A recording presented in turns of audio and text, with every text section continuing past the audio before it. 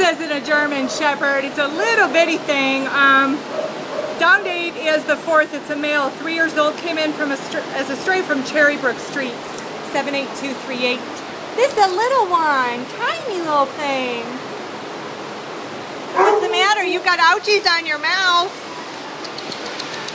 Come here. I say this dog is maybe 12 pounds, 12 to 15 pounds. Does have some ouchies on his little mouth right there.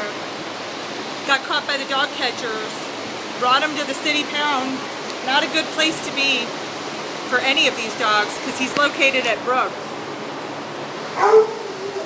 So help him, please. Just put his put his video on your Facebook page. Look at that face. Somebody will fall in love with him. He's gorgeous. He's available for adoption through Animal Care Services. Um, please, just help him in any way you can.